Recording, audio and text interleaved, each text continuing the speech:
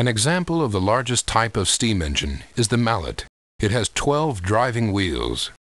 To operate steam locomotive wheels, high pressure steam is pumped from the steam chest into the cylinder. The steam expands, forcing the piston to the right. As steam in the left side of the cylinder escapes through the exhaust port, more steam enters the right side of the cylinder. The valve closes off the port, and steam in the right side of the cylinder expands, pushing the piston back to the left to start the process again.